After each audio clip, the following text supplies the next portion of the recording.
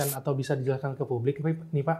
Seperti apa nih Pak gambaran fungsi perlindungan yang dijalankan kepada anak-anak Pak FS nih Pak. Saat ini apakah uh, atau anak-anak FS ini diasuh oleh siapa Pak? Begini, kalau kita melihat ada dua hal ya. Pertama ya. adalah perlindungan khususnya. Ya. Yang kedua dari sisi pengasuhannya.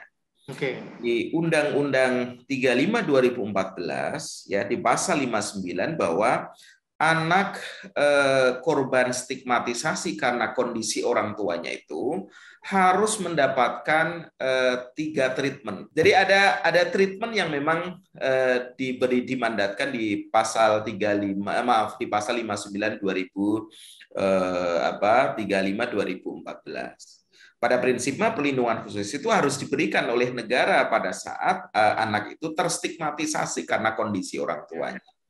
Nih, ini konteks perlindungan khususnya.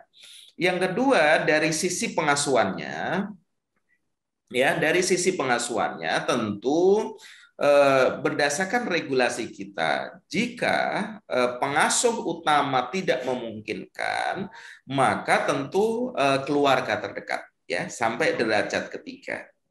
Ya, itu itu memang mandat negara demikian.